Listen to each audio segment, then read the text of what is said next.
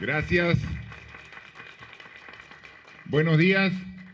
Para mí siempre es un gusto y un placer estar aquí en Villarrica. No es la primera vez que vengo. Ya he venido a anteriores oportunidades. Un saludo a su alcalde, al alcalde provincial, al gobernador regional, como también a los funcionarios del gobierno, la ministra de la producción, el ministro del interior, que hoy nos acompaña. Y es importante porque estamos en una fecha especial en Villarrica, porque precisamente el cuarto viernes de agosto es el día del café peruano. Y qué mejor oportunidad para estar aquí presentes. En el día del café peruano estamos en un distrito, parte de una provincia que es emblemática en la producción de un café de alta calidad. Y tenemos que hacer un esfuerzo para que el café peruano, conocido a nivel mundial, se consuma cada vez más en una mayor cantidad. Y para ello debemos buscar nuevos mercados en el extranjero, pero también tenemos que buscar mercados aquí en el Perú, porque el consumo interno de café peruano en el Perú es bajo y depende solamente de nosotros los peruanos que prefiramos lo nuestro y que consumamos el café peruano que es de excelente calidad.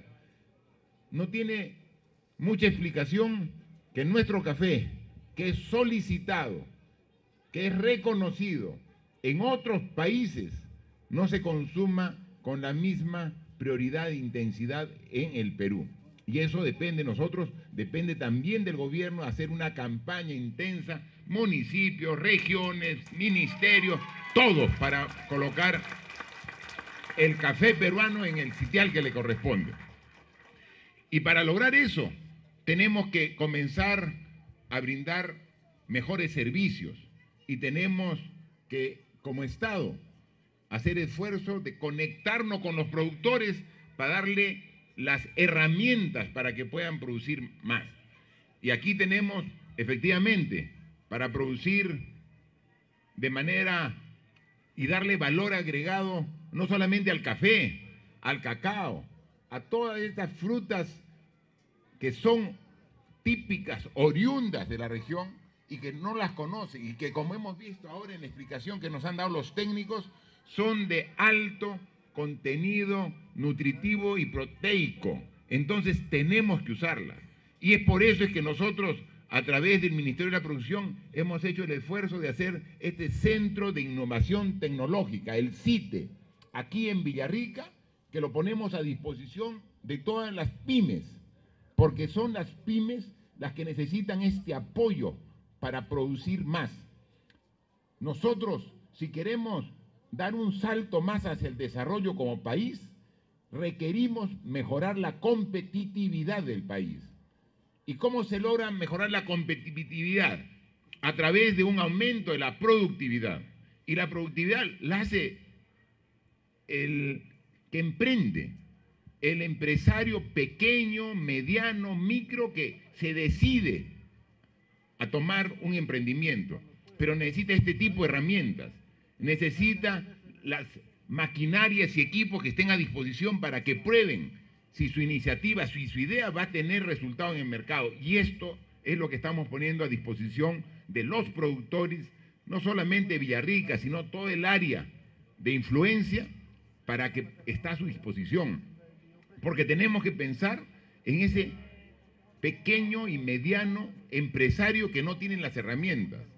Si uno ve las estadísticas de todas las empresas que hay en el Perú, el 95% son pymes. 95%, y dan trabajo a más de 8 millones de personas. Son muy importantes, pero falta el apoyo del Estado para que produzcan más.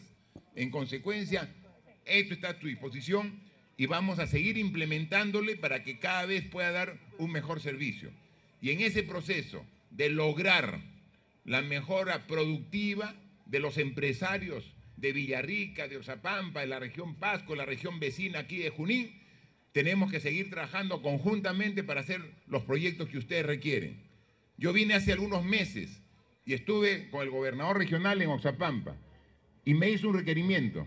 Me dijo, esta región que es altamente productiva necesita también una conectividad aérea. Y me dijo, ¿por qué no usted como presidente nos apoya en hacer el estudio del aeropuerto de la provincia de Oxapampa? Tomamos el compromiso y ya hace una semana se ha dado la buena pro para que se haga el estudio del aeropuerto de Oxapampa.